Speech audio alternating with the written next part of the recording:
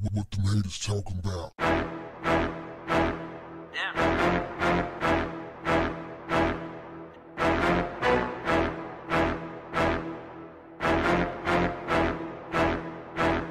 What's up, family?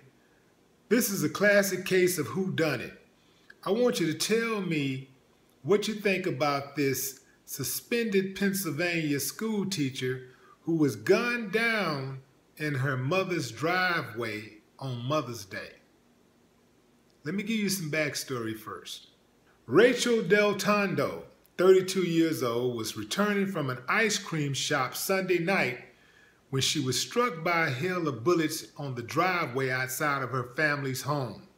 Del Tondo died of multiple gunshot wounds to the torso. Police are hunting for the suspect, but authorities have released no description as of Tuesday. Officials said they are looking at a cell phone for information. It's unclear what prompted the deadly shooting.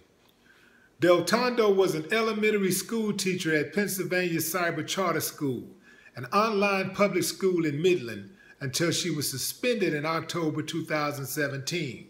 The school issued the suspension after school officials received an anonymous email about a former police report filed involving Del Tondo and an underage boy that was not a student at Pennsylvania Cyber. A police report from 2016 said the two were found in a steamed up parked car around 2 a.m.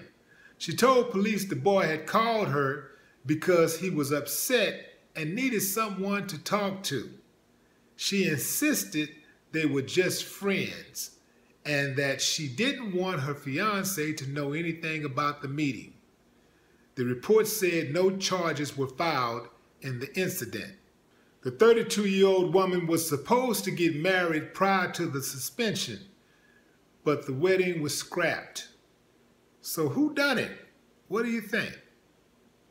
You got school officials who probably had a beef. You got the mother and the father of the boy. You got the ex fiance who could have been jaded, probably had a beef. That was definitely a hit. Man, that, that sounded professional. Maybe she was in, into some other things that was not reported. Because really, neither one of those really sound plausible. I mean, but anything is possible. Anything is possible. I think there's a lot more to this story, and I think this is a developing story. She was green lighted by someone.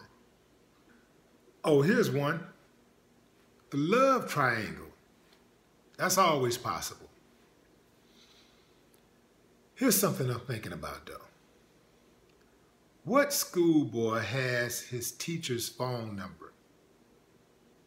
My whole time in school. All my 18 and a half years. Had to go back because I got kicked out. I never had one of my teacher's phone numbers. Not one time. If we don't learn anything else from this story,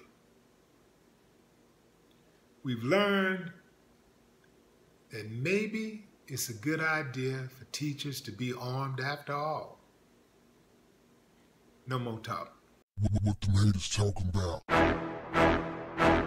Damn.